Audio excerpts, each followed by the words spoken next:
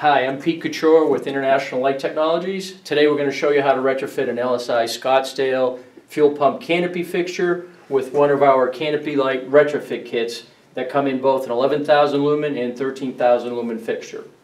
The nice part about this is all you have to do is replace the lens and we're going to show you how to do that right now. So first thing you're going to do is open this up and remove the existing lamp which you do not need. You're going to have to discard this properly and recycle because it does contain mercury. Everything else can remain the same. You just need to disconnect and access AC power directly. The next thing you're going to do is remove the retaining clips, three out of the four retaining clips, and you can loosen the top ones. And then you'll do that so that you can remove the lens. Make sure you save these for use when you're reassembling the retrofit kit.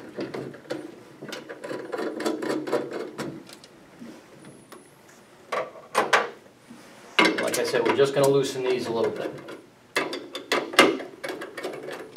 And then remove this last one.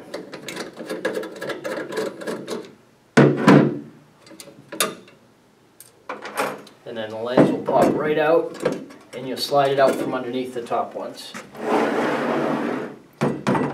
Now we're going to retain the gasket. You're not going to use the gasket as a seal, but you're going to use the gasket to create a spacer, a space to go up underneath the retaining brackets just like you had on the lens. So you're going to assemble the gasket just like it was on the lens.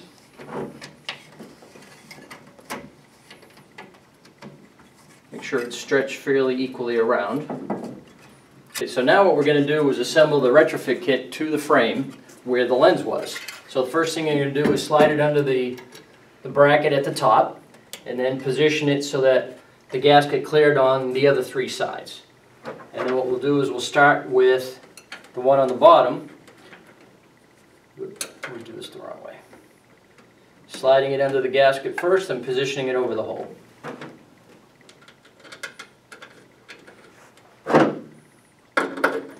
can leave it a little loose until you get the other two assembled also. So again, just underneath the gasket and then line it over the hole.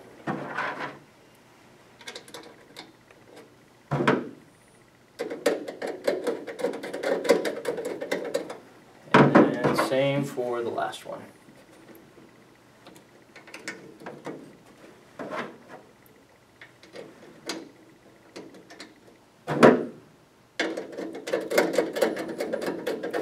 Tighten this one right down and move around to the other four screws.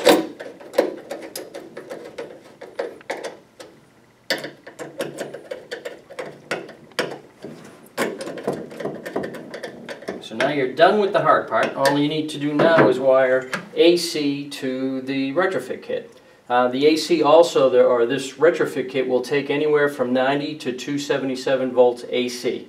So it does have a universal input.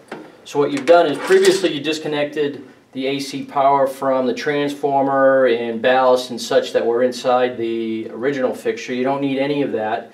So you're just going to remove that and then attach your line uh, in line, load, and ground using three wire nuts and making sure you do everything per your local electrical code.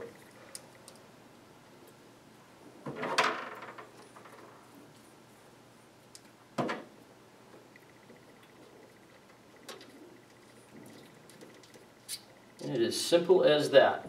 And then close it up and you are complete.